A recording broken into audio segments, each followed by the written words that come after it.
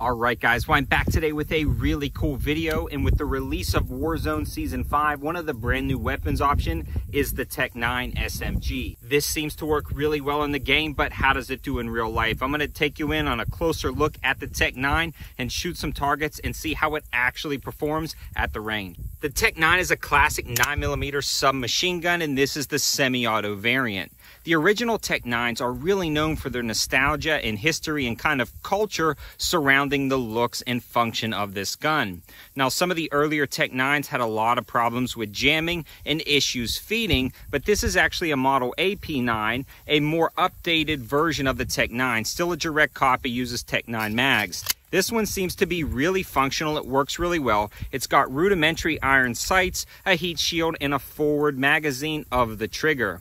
This one's been functioning great. Let's take some shots with it and see how it does today.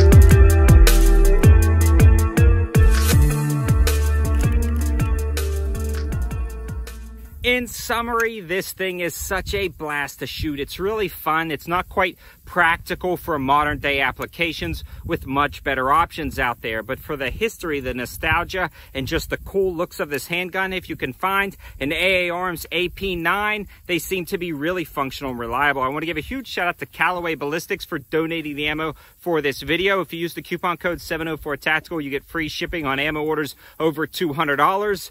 Warzone Season 5, this may be an awesome gun in the game, but in real life, it's kind of relegated to a fun range toy. It's pretty cool to keep to the collection, though. I wouldn't trade mine. This one's staying for the long haul. Thanks for watching, guys. Have a good one.